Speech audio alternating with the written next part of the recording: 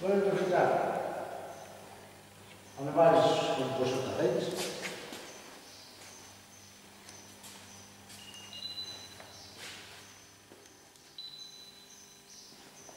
Ναι.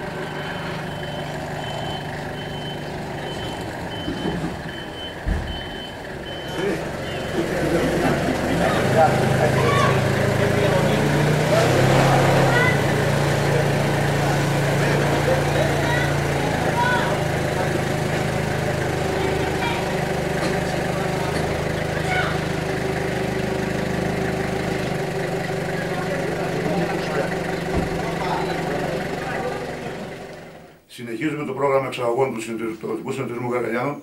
Μετά το άνοιγμα στην Κίνα, ανοίγουμε μια, ένα καινούριο δρόμο, αυτή τη φορά στην Αυστραλία, στη Μελβούρνη. Ένας επιτυχημένος συμπατριώτης μας επιχειρηματίας, ο Κόρας Ανδρώνης, ξεκινάει και μια καινούργια δουλειά ε, εμπορίας και πρόθεση ελαιολάδου. Λοιπόν, να ευχαριστώ πολύ τον, τον Νίκο του Ανδρώνη που είναι εξαρεφός του και βοήθησε τα μέγιστα, ο οποίος διατηρεί κατάστημα καφετέρια πιτσαρία στην Πλατεία Γαργαλιάνων και βοήθησε πολύ για να ανοίξει αυτή η καινούργια δουλειά η οποία πιστεύω ότι έχει μέλλον, είναι μεγάλη και θα έχουμε σίγουρα συνέχεια. Θέλω να πω ότι παρόλο χωρίς pop καλαμάτας και τα συναφή, προσπαθούμε και ανοίγουμε συνέχεια νέους δρόμους. Και δυστυχώς το pop το έχουν κάποιοι για δικό τους όφελος, δύο-τρει μεγαλοεπιχειρηματίες καλαμάτας. Από εκεί και μετά ο συνεταιρισμός, έχοντας πλέον τώρα συμβόλαια υπογεγραμμένα και συμφωνίες κάνει, από τώρα μέχρι την εποχή του, της Ρεσουκομιδής θα χρειαστούμε γύρω στους 300 τόνους λάδι τυποποιημένο. Το λάδι σχεδόν το έχουμε. Θα χρειαστεί να πάρουμε και λίγο απ' έξω βέβαια. Όσον αφορά για τους παραγωγούς μας, να πω ότι επειδή χρειαζόμαστε να μείνει λάδι για να τυποποιείται, να μην φύγει χήμα πλέον στην Ιταλία, ε, μετά από ένα συμβούλιο χθεσινό αποφασίσαμε να έχουν μια εγγυημένη τιμή το 2,75 συν ό,τι προκύψε καθάριση στο τέλος της περίοδου. Θέλω να πει, ε, λοιπόν, από τη Δευτέρα πηγαίνω πάλι στην Αθήνα. Έχουμε μια συνάντηση για την Κίνα, να, να, κάτι οικονομικά να συζητήσουμε να φύγει το δεύτερο φορτίο. Θέλω να πιστεύω ότι θα έχουμε συνέχεια. Κάθε μήνα θα έχουμε ένα-δύο κοντένερ το μήνα και πιστεύω να ανοίξουμε καινούριους δρόμους και καλύτερες αγορές για όλους μας. Ε, τι ποσότητα στέλνετε τώρα στην. Τώρα το πρώτο φορτίο που πηγαίνει στη, στη Μελβούρνη είναι 2.500 πεντόκιλα και είναι και 200 μπουκάλια μισό κιλό δείγμα δείγμα για να απλωθεί σε ένα. Είναι μια καλή δουλειά. Πιστεύω αυτός έχει. Ο πατριώτης εκεί έχει σε 2.000 σημεία πώληση δικά του προϊόντα και οπότε έχει το δίκτυο έτοιμο να βάλει και λάδι παντού. Και συνήθω μιλάμε για εστιατόρια, ταβέρνες κτλ. Να δουλέψουμε πιο πολύ πεντόλιτρο, πιο μπουκάλια. Το συνολικό βάρος δηλαδή, αν το έχει πρόχειρο, Το γύρω στους 11 τόνου είναι. 11 τόνου. Ε, Πόσους τόνους θα τυποποιήσετε φέτος, 300 που είπες; Από τώρα μέχρι, το μέχρι τον Οκτώβριο, Νοέμβριο υπολογίζουμε γύρω στους 300 τόνους. Στο σύνολο της χρονιάς; Στο σύνολο της χρονιάς μέχρι τώρα έχουμε γύρω σε 100 τόνους έχουμε στη Βόρεια Ελλάδα, κυρίως Ήπειρο και λίγο Μακεδονία. Ε, ανοίξαμε τώρα μετά το Πάσχα και μία μπαλέτα περίπου ένας τόνος για τη Βουλγαρία. Τυποποιημένο διάφορα μπουκάλια. Uh -huh. Λοιπόν, στο σύνολο της χρονιάς τώρα υπολογίζουμε να φτάσουμε στους 500 τόνους.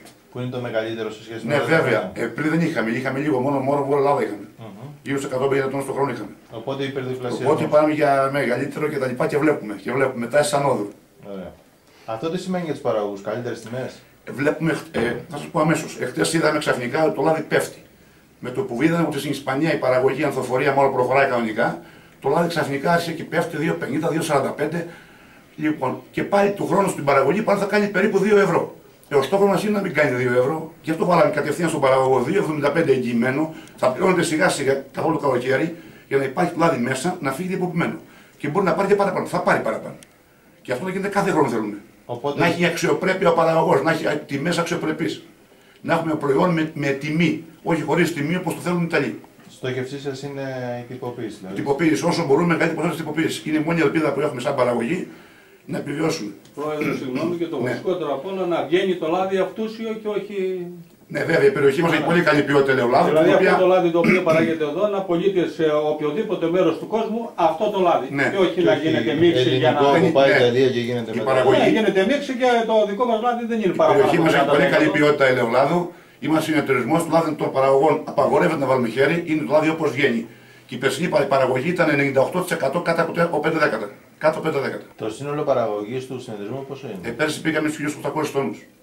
Δηλαδή περίπου το 1 τρίτο φέτο θα τυποποιηθεί. Ε, ναι, βέβαια. Ναι, μετά, με στάσεις σαν αυτό ήταν στόχος μας. Ζήτηση υπάρχει, υπάρχει και αντίστοιχη προσφορά από την περιοχή εδώ. Από λάδι λέω. Λάδι, εμεί αποδείξει μα έχουμε γύρω στου 300 τόνου. Αλλά θα χρειαστεί, έχουμε πάρει και βετιοφόρο καινούργιο αγοράσαμε. Θα πάρουμε και λάδι απ' έξω. Από άλλου συνεταιρισμού, από σπίτια. Αν χρειαστεί. Βέβαια. Η παραγωγή εδώ πέρα είναι γύρω στου 4.500-5.000 τόνου. Η Γρελιάνη κάνει 5.000 τόνου. Εμεί κάνουμε. για ένα Πρέπει- ξεκίνημα ναι. δυνατό υπάρχει αυτούσιο το λάδι. Υπάρχει λάδι, υπάρχει λάδι. Οργάνωση θέλει, αγώνα. Η Αυστραλία είναι πιο εύκολη αγορά από την Κίνα. Στην Κίνα ταλαιπωρηθήκαμε με πολλά χαρτιά, πολλά πιστοποιητικά. Εν πάση περιπτώσει, είναι δι- ο καθένα του κάθε κράτου. έχει τα δικά του.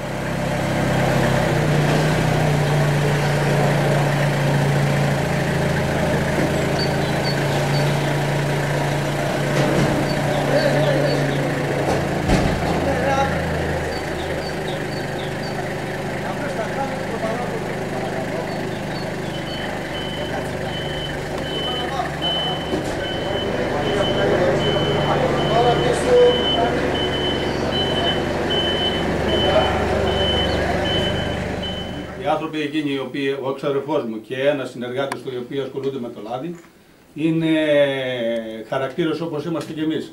Παίρνοντας α, δηλαδή το μπουκάλι ή το πεντόλιτρο, α, έτσι θα πάει στο καταναλωτή. Είτε είναι εστιατόρας, είτε είναι οικογένεια.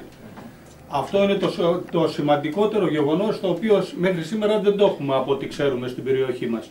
Λόγω οι Ιταλοί και οι Ισπανοί δημιουργούν διάφορες ε, καταστάσεις δικές τους, τις οποίες τέλος πάντων εμείς ε, θέλουμε να τις αντιμετωπίσουμε διαμέσου αυτού του τρόπου. Η Πόσο- αγορά της Αυστραλίας είναι τεράστια. Εγώ νομίζω ότι σε ένα χρόνο οι άνθρωποι που ασχολούνται θα έχουν γύρω στα, α, πάνω από 200% αύξηση. οι άνθρωποι. Πωλήσεων, αύξηση Πωλήσεων. Πώς προέκυψε αυτό το ενδιαφέρον; Από την Προέκυψε πλευρά το του- ενδιαφέρον ερχόμενος ο ξερεχών εδώ πέρα, βλέποντας εγώ την κατάσταση που επικρατεί με την εμπορία του λαδιού, συζητώντας με τους προέδρους όλων των συνεταιρισμών και κυρίως εδώ του Λυρίουπου, είδα ότι μπορεί να αναπτύξουμε το λάδι στην περιοχή της Αυστραλίας και κυρίως της Μελβούρνης. Αλλά θα έχουμε όλη την Αυστραλία και τη Νέα Ζηλανδία Αποκλειστική. Αποκλειστική. αποκλειστικότητα. του λαδιού αυτού. Οπότε νομίζω ότι σε μια διάρκεια α, πάνω από ένα χρόνο ότι θα έχουμε εδραιώσει μια πολύ καλή αγορά, σταθερή και με ανωδική πορεία.